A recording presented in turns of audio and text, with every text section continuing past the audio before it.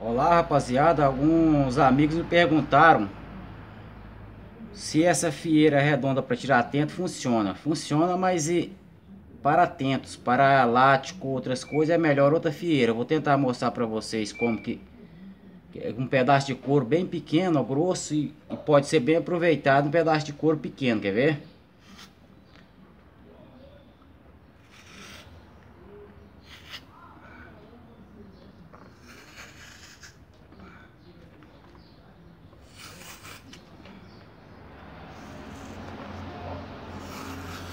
Um pedaço de couro bem pequeno vai dar um, um tento bem grande que é difícil de adaptar com ela. Alguns amigos não conseguiram mas tem que que ir tentando porque até pegar o jeito dela. Esse pedacinho de couro que eu peguei vocês vão, vão ver o, o tamanho de tento que eu vou transformar ele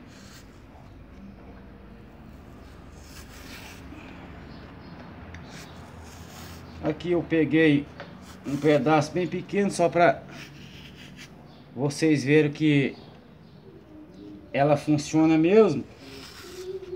E quanto maior for esse pedaço, mais grande você tem um tento. E quanto mais redondo, mais qualidade. Olha esse pedacinho de couro. Olha o tamanho de tento que ele dá, ó, certinho.